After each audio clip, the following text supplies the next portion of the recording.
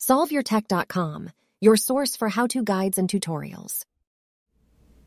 Welcome to our video about how to remove the number from the Messages app on an iPhone in iOS 17.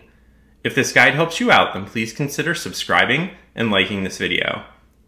If you see a number inside of a red circle on the top right corner of your Messages app, then this indicates the amount of unread messages that you have in the app. If you open up the app and view the conversation with an unread message, then that number will reduce. And if you viewed all of the messages, then that number won't be there. But if you would like to hide this number from ever appearing, then you can change an option in the settings menu. You can do this by tapping the settings icon. You can then scroll down and select the notifications option.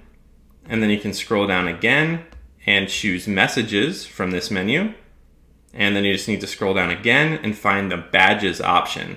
Now you just need to tap the button to the right of that to turn it off. And now when you go back to your home screen, you'll see that that number on the Messages app should be gone. You'll note that I also have a, a number in a red circle on my Mail app. If you wanted to remove that, then you could go into Settings, Notifications, Mail, and turn off badges there as well. Make sure to like this video and subscribe to our channel to see more tech guides like this one. For additional information on this topic and to read the entire article, click the link in the description to visit solveyourtech.com.